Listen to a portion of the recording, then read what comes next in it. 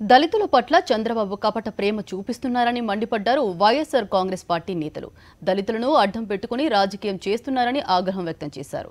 చంద్రబాబుపై వైఖరికి నిరసనగా ఈ నెల ముప్పై ఒకటిన వైఎస్ఆర్సీపీ ఆధ్వర్యంలో అంబేద్కర్ విగ్రహాల వద్ద నిరసన తెలుపుతామని చెప్పారు. దళితులపై దాడులు జరిగితే సీఎం జగన్ వెంటనే స్పందించి చర్యలు తీసుకుంటున్నారని కరోనా కష్టకాలంలో చంద్రబాబు హైదరాబాద్లో దాక్కుని ప్రభుత్వంపై బురద జల్లే ప్రయత్నం చేస్తున్నారని మండిపడ్డారు. వైఎస్సార్ కాంగ్రెస్ పార్టీ కేంద్ర కార్యాలయంలో సమావేశమైన నేతలు భవిష్యత్తు కార్యాచరణపై చర్చించారు.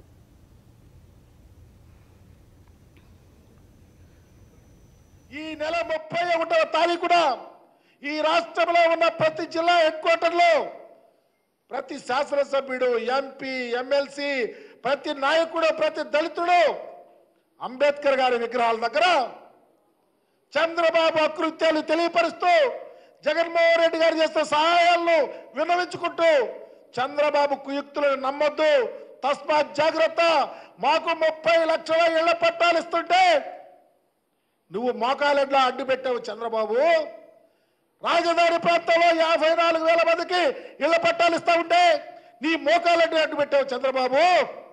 మా సమాజంలో అప్లిమెంట్ కోసం అంబేద్కర్ రాజ్యాంగాన్ని ఇంప్లిమెంట్ చేస్తూ మా పిల్లలు చదువుకోటానికి ఇంగ్లీష్ విద్య పెడితే నువ్వు మోకాలలా అడ్డు పెట్టావు. చంద్రబాబు అని చెబుతూ బాబాసాహెబ్ అంబేద్కర్ గారి విగ్రహం దగ్గర నిరసన తెలియపరచాలని ఈరోజు తీర్మానం చేయటం జరిగింది.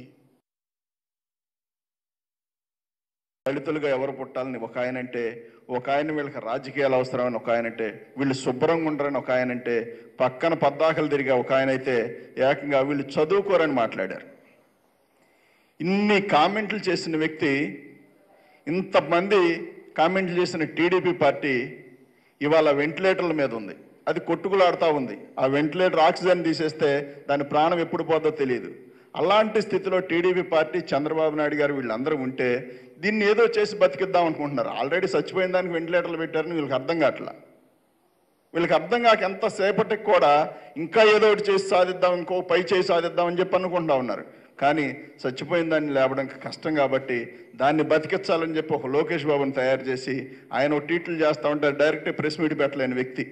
డైరెక్ట్ ప్రెస్ మీట్ పెడితే ఏం మాట్లాడతాడో తెలియదు.